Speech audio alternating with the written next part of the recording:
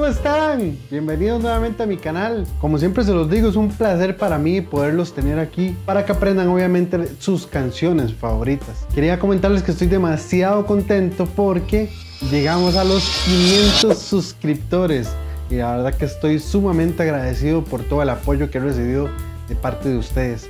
Les recuerdo también que tengo mis redes sociales donde pueden este, seguirme. Recuerden que ahí voy tirando ideas, cositas ahí nuevas, haciendo covers de diferentes géneros. Es muy interesante todo lo que se puede lograr con ese instrumento. También estuve celebrando mi cumpleaños número 33. Muchas gracias a todos por los saludos. Y este, bueno, para hoy tenemos una canción súper icónica que me pidieron varias veces. Por dicha, eh, tengo ahorita el video anda como por las 9000 canciones. Ya se los voy a dejar aquí por si no lo han visto que es el de Fiesta Pagana al Mago de Dos. Mucha gente me escribió y querían que también hiciera el cover de esta canción. También déjenme en los comentarios si les gustaría que deje más canciones del Mago de Dos, que dé más tutoriales de, de este grupo, porque la verdad que tienen un sonido espectacular y todo se puede hacer con la flauta.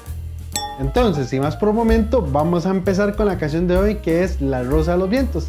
Entonces, esta canción en la introducción empezaría de la siguiente manera.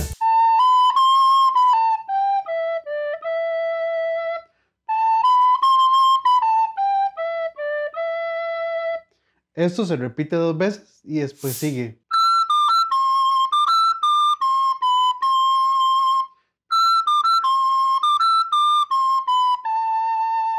Y después se vuelve a repetir el...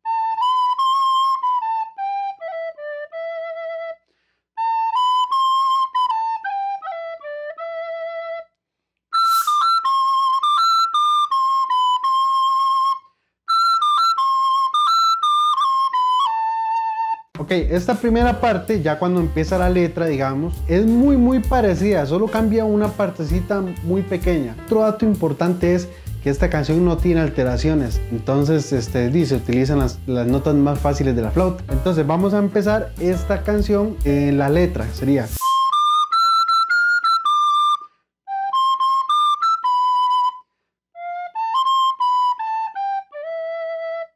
y después se repite y cambia muy poquito.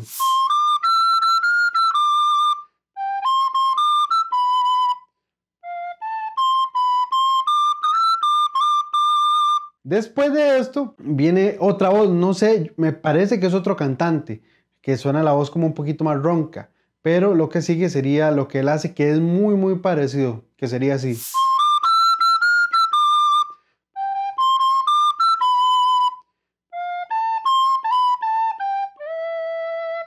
Y después lo repite, pero cambia muy poquito.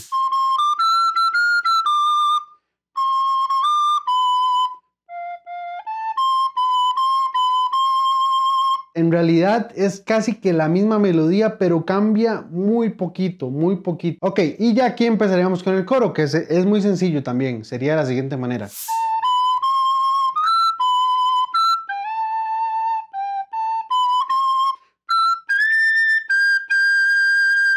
Aquí se están usando notas un poquito más agudas de lo normales, que sería el sol y el la agudo. Es igual que el grave, todo lo que la diferencia está en la fuerza, de la potencia del viento y en que separemos en el dedito de atrás y lo pongamos a la mitad. Por ejemplo, voy a hacerlo grave y después agudo. Realmente son las mismas posiciones, pero hay que soplar más fuerte y soltar la mitad del dedo de atrás. Después de esto sigue este, como una segunda parte del coro, que es como la parte donde baja, que sería así.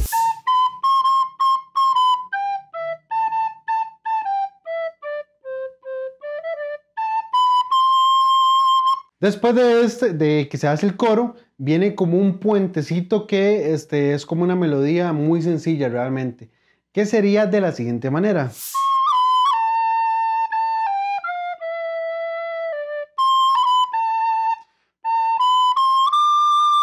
Se repite.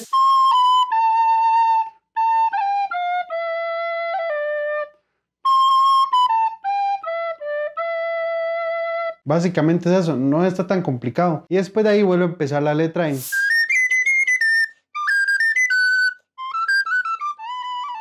Y para finalizar, en esta versión, La flauta este, es una flauta traversa, la que se toca así. Eh, hace lo mismo que el coro, pero varía un poquito y tiene un final un poquito más despacito. Entonces voy a tocarla lo más parecido que pueda para que la escuchen.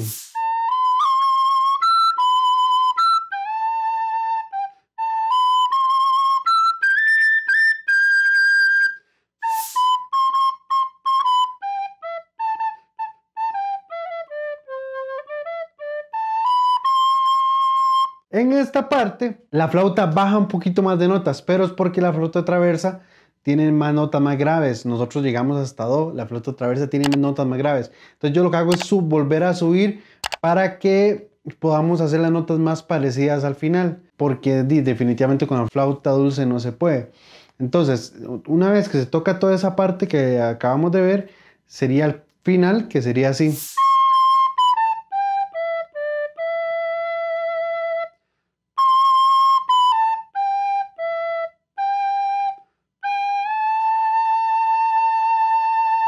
Entonces, para que suene completo sería...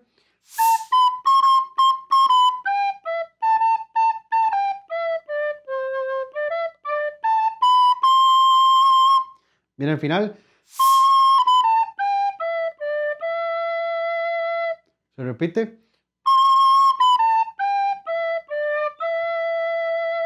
Y el último.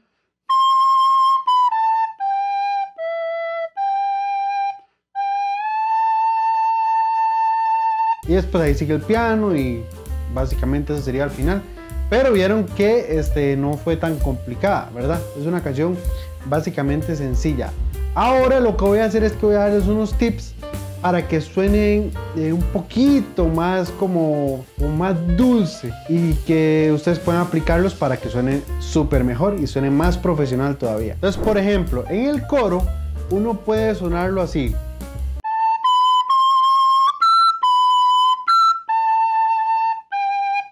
Eso va como un poquito más cuadradito. Pero si le quisiéramos agregar algunas cositas para que suene un poquito más profesional, este puede ser un tip. Por ejemplo, cuando vamos de la, cuando hacemos el la, si, do, yo meto un re, pero vean cómo lo hago.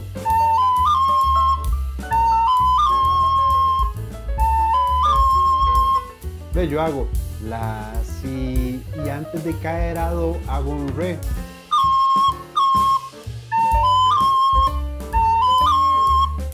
Para que suene un poquito diferente. Y cuando hago el mi, eh, hacemos el de mi sol. Entonces escuchen la frase como suena. ¿Ves? Le da como un matiz diferente. Voy a hacerlo un poquito más largo para que lo escuchen.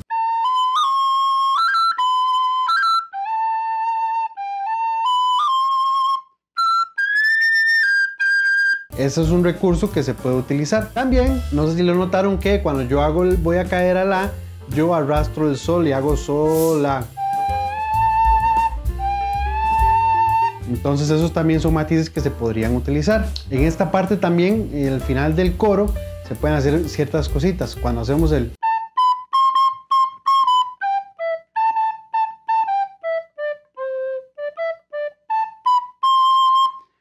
lo toqué cuadradito.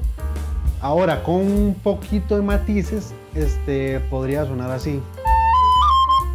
Ahí ya utilicé el primero que acabamos de ver. Yo pasé de la, de antes de hacer el do, hice re.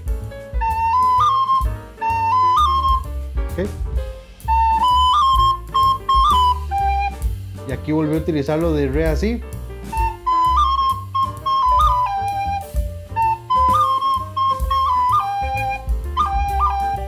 Pero es muy chiquitico, muy chiquitico para que eh, no se pierda como la, la línea y la esencia de la canción. Cuando vamos para abajo, ahí utilicé el re a sol. No sé si se ve por ahí, vamos a ver si se puede ver. Y cuando vamos a re y do,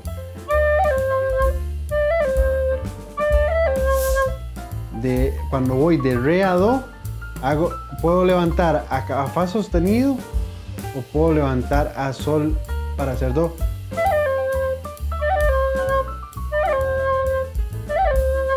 Entonces,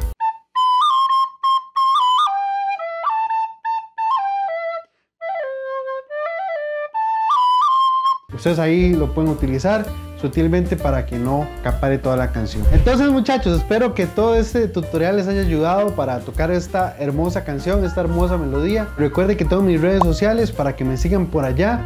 Les agradezco de todo corazón por todo el apoyo que he recibido, de verdad, muy contento con los 500 suscriptores ya. Y este, nos vemos en el próximo tutorial. Déjenme en los comentarios qué otra canción les gustaría del Mago de 2 o si les gustaría de otro género. Entonces, sin más por el momento, les agradezco. Muchísimas gracias y ¡pura Olá!